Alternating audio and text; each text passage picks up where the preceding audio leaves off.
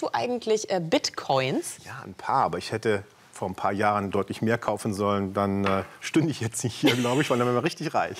Es ist nämlich Geld, das aus dem Internet kommt und eigentlich nur als Datei existiert. Und trotzdem ist es sowas wie eine Parallelwährung geworden. Damit kann man ganz reale Sachen kaufen, wie Pizza, wie Socken. Man kann sogar damit seine Studiengebühren bezahlen. Und diese Währung wird sogar an der Börse gehandelt, mit riesigen Rekorden nach oben, aber auch mit riesigen Schwankungen nach unten. Das äh, Internetgeld ist noch keine Konkurrenz zu realen Währungen wie Euro und Dollar, aber auf dem Weg dahin.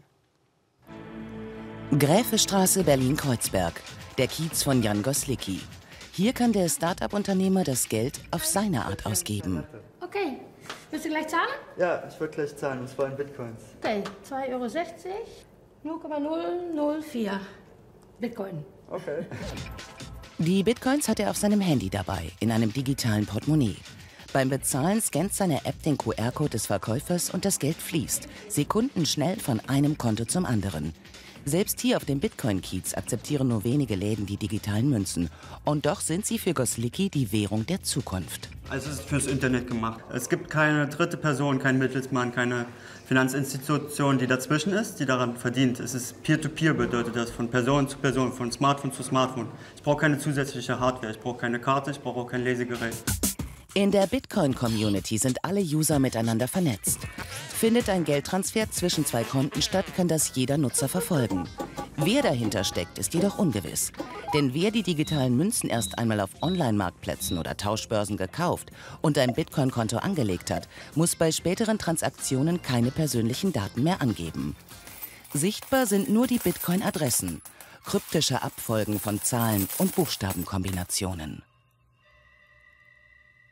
Wieso muss ich, wenn ich mit der Kreditkarte bezahle, äh, meine ganze Identität im Internet preisgeben? Es ist eigentlich, eigentlich ist es nur nötig, das Geld zu verifizieren. Ist das Geld echt oder nicht? Das reicht eigentlich für die Transaktion, das reicht auch dem Händler. Der Händler muss nicht wissen, wie alt bist du, wie heißt du, was ist dein Geschlecht, wo kommst du her. Anonymität als Anreiz. 12 Millionen Bitcoins fließen weltweit durch digitale Kanäle. Umgerechnet rund 8 Milliarden Euro. Peanuts im Vergleich zur Basisgeldmenge von mehr als 1000 Milliarden Euro, allein in Europa. Und doch haben Währungshüter weltweit ein Auge auf die digitalen Münzen. Das interessiert natürlich die Behörden. Man weiß nicht, wo die Leute sind. Man weiß nicht, wo diese Leute Steuer bezahlen. Und deswegen, wenn ich äh, bei Betten Geld gewonnen habe oder bei äh, dem Verkauf von irgendwas äh, Bitcoins bekommen habe, brauche ich keine Steuer zu zahlen. Das ist völlig unreguliert. Geld, das durch unbekannte Kanäle fließt. Absender wie Adressat anonym. Keine staatliche Kontrolle, keine Zentralbank. Eine Einladung für Kriminelle?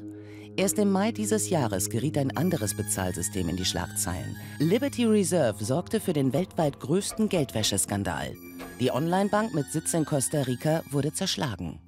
Jedes Instrument, das mir Anonymität verschafft und auf diese Weise Geld, äh, Zuflüsse ermöglicht, ist automatisch interessant, um äh, sogar große Geldtransaktionen zu, zu, betätigen. Mit Bitcoins kann ich äh, an einem Tag äh, die Bitcoins kaufen, sofort äh, transferieren, sofort wieder verkaufen. Und die Bitcoin-Wirtschaft ist mittlerweile einige Milliarden Dollar schwer. Das heißt, äh, man kann schon äh, eine Million Dollar ohne weiteres transferieren. Dem Bitcoin scheint das alles nichts anhaben zu können. Aktuell steht der Wechselkurs bei rund 1000 Dollar. Wer im Frühjahr in die digitalen Münzen investiert hat, konnte seinen Gewinn bis heute verzehnfachen.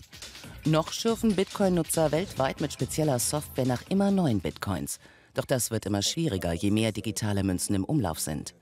Der Hintergrund, die Zahl der verfügbaren Einheiten ist von vornherein begrenzt. Bei wachsender Nachfrage steigt somit der Preis. Doch starke Kursschwankungen und Negativschlagzeilen verunsichern die Interessenten. In Dänemark haben Hacker erst vor wenigen Tagen ein Bitcoin-Konto geknackt. Münzen im Wert von 780.000 Euro gestohlen. Wer dahinter steckt, weiß man nicht. Im Bitcoin-System ist schließlich jeder anonym. Und das Verrückte ist, das, was ich gelesen habe, äh, jeder kann sich so Bitcoins mit dem Computer errechnen. Das heißt, plötzlich rechnet mein Computer, während ich schlafe und ich habe 3000 Euro auf dem Konto? Ja, ganz so leicht ist es nicht. Man, in der Tat, der Computer rechnet, man braucht dafür spezielle Software und man muss die Bitcoins errechnen. Also die liegen nicht herum. Man muss gucken, ist das ein Bitcoin oder nicht. Es gibt strenge mathematische Formeln und mit der Zeit wird es immer schwieriger, diese Bitcoins äh, zu erstellen und zu errechnen. Deswegen ist es auch nicht so einfach, dass man einfach nur einen alten PC nimmt und lässt dann damit Bitcoins rechnen. Nein, man braucht sehr leistungsfähige Computer und deswegen ist es auch eine teure Angelegenheit. Man muss Strom bezahlen, die Hardware bezahlen, aber es gibt einige Menschen, die das machen, klar. Für wen lohnt sich denn das überhaupt in dieses Geschäft einzusteigen und für wen nicht?